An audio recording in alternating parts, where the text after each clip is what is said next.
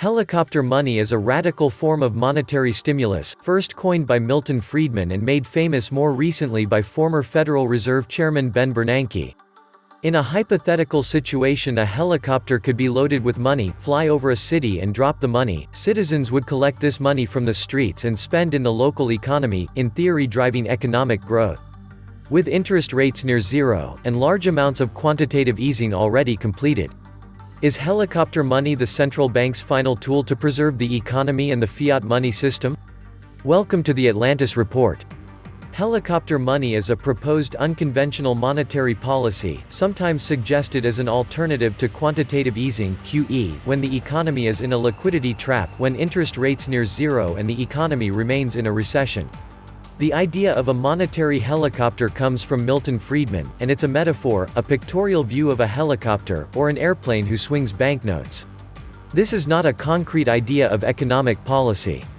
So we understand that the goal behind, whatever its implementation, it's having a direct effect on household consumption. Imagine New York, in the near future. All of a sudden, banknotes fall from the sky, or more accurately from a helicopter. The pilot would not be Santa, but a pilot of the Federal Reserve Bank. An imaginary scenario, worthy of a movie, and yet this utopian idea of helicopter launching banknotes from the air unleashes the passions. It was even theorized as early as 1969 by one of the most influential economists in history, Milton Friedman. This theory is known as helicopter money. That is to say, a monetary helicopter. And the goal of this helicopter is to boost economic growth. Usually, two main tools are used to boost growth, number one, the budget by lowering taxes, and number two, the currency by lowering central bank interest rates to expand credit. Each time, in the hope that consumption and investment will return. The problem is that the fact of lowering taxes, the governments do not like much, because it means less money in the coffers of the state, at least in the immediate future. And as for interest rates, they are already at a historically low level in the United States. The margins of maneuver are therefore low. Hence this idea that resurfaces, that of a helicopter dropping money from the sky. People are using and spending money to meet the ends of difficult months, do their shopping, or do some work at home.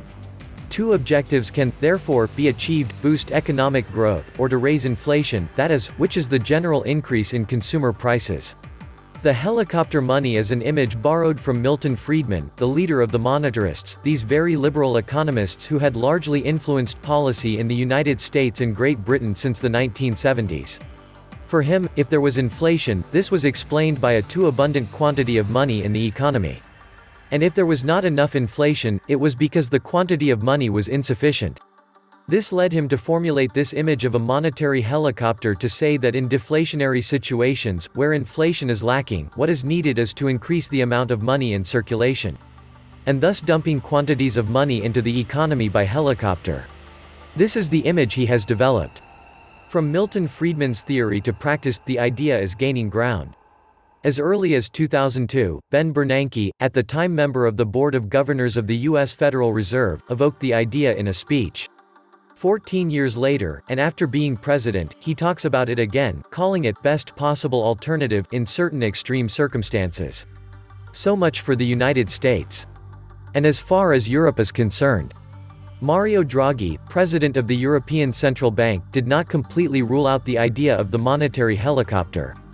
He expressed reluctance. And the reason there is the reluctance is that we do not know how, in practice, it would be done. The only thing, the ECB is not allowed to do is to finance the deficit of the states directly. But everything else, including direct or indirect transfers to citizens on their bank accounts, potentially, remains legal. But then, why do not we still see these famous helicopters flying in the sky?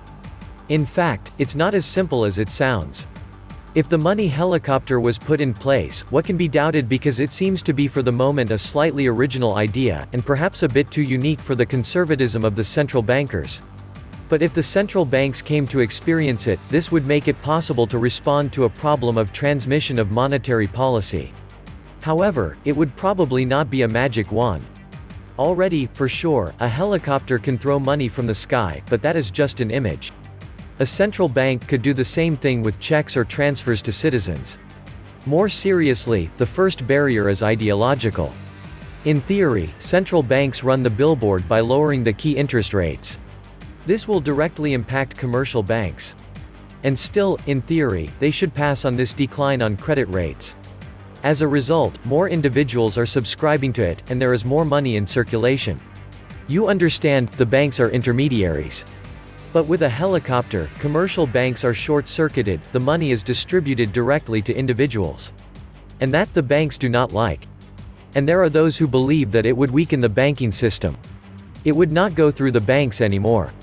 If central banks were to distribute central money directly to households in the form of a voucher or notes, basically, no matter the style, it would be freed from the bank transmission channel monetary policy.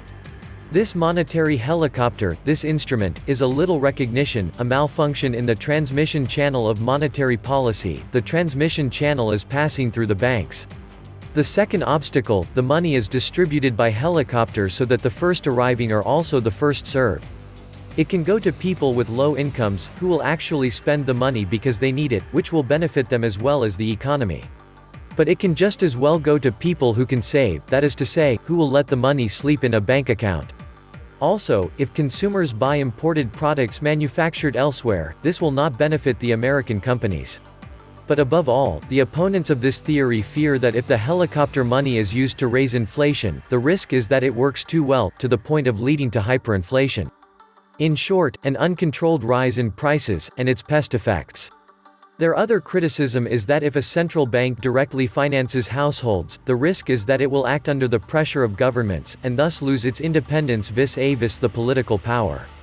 Independence on which it based its credibility with the markets, and that allows it to be listened to in case of the financial crisis, as in 2008. And yet, despite all these obstacles, the latest Fed policies are questioning economists.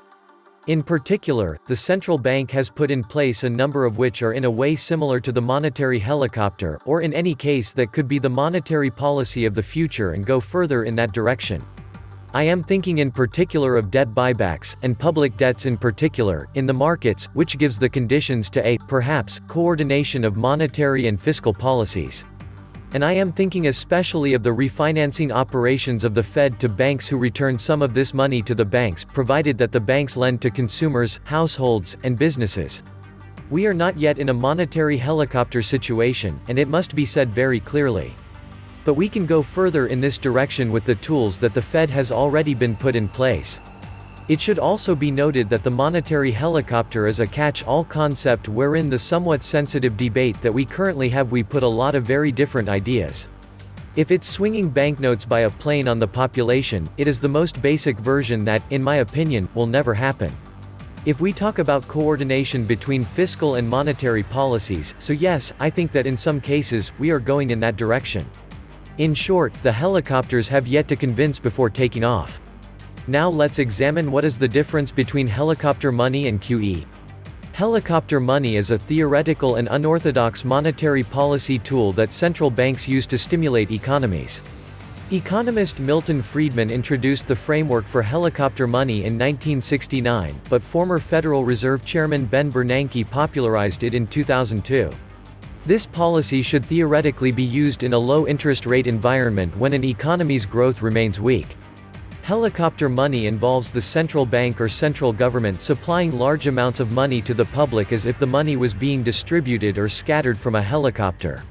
Contrary to the concept of using helicopter money, central banks use quantitative easing to increase the money supply and lower interest rates by purchasing government or other financial securities from the market to spark economic growth. Unlike with helicopter money, which involves the distribution of printed money to the public, central banks use quantitative easing to create money and then purchase assets using the printed money. QE does not have a direct impact on the public, while helicopter money is made directly available to consumers to increase consumer spending. Differences in economic consequences. One of the main benefits of helicopter money is that the policy theoretically generates demand, which comes from the ability to increase spending without the worry of how the money would be funded or used. Although households would be able to place the money into their savings accounts rather than spend the money if the policy were only implemented for a short period, consumer consumption theoretically increases as the policy remains in place over a long period of time. The effect of helicopter money is theoretically permanent and irreversible because money is given out to consumers, and central banks cannot retract the money if consumers decide to place the money into a savings account. One of the primary risks associated with helicopter money is that the policy may lead to a significant currency devaluation in the international foreign exchange markets. The currency devaluation would be primarily attributed to the creation of more money. Conversely, QE provides capital to financial institutions, which theoretically promotes increased liquidity and lending to the public, since the cost of borrowing is reduced because there is more money available. The use of the newly printed money to purchase securities theoretically increases the size of the bank reserves by the number of assets that were purchased. QE aims to encourage banks to give out more loans to consumers at a lower rate, which is supposed to stimulate the economy and increase consumer spending. Unlike helicopter money, the effects of QE could be reversed by the sale of securities. Helicopter money in practice. Although helicopter money is an unorthodox tool to spur economic growth, there are less extreme forms of the policy if other economic tools have not worked. The government or central bank could implement a version of helicopter money by spending money on tax cuts, and thereafter, the central bank would deposit money in a treasury account. Additionally, the government could issue new bonds that the central bank would purchase and hold, but the central bank would return the interest back to the government to distribute to the public. Therefore, these forms of helicopter money would provide consumers with money and theoretically spark consumer spending. This was the Atlantis Report. Please like, share, and subscribe. Thank you.